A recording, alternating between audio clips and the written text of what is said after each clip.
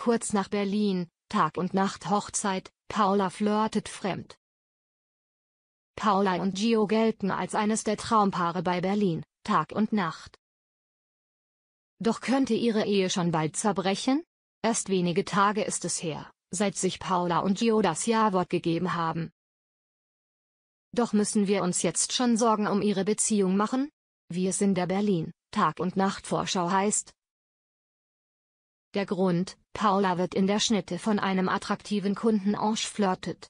Kommen Paula Anfang Oktober Zweifel an ihrer Ehe.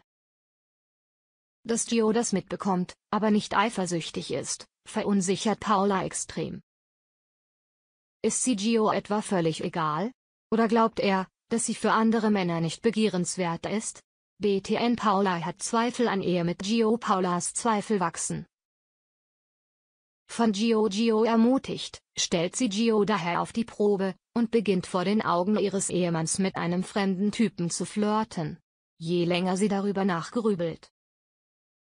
Auch jetzt scheint Gio nichts Schlimmes daran zu finden. Später kann Paula nicht mehr an sich halten, sie konfrontiert Joe, der versucht, seine Gattin zu beruhigen. Erleichtert muss sich Paula eingestehen, dass sie wohl etwas übertrieben hat er vertraue Paula eben, so seine Erklärung.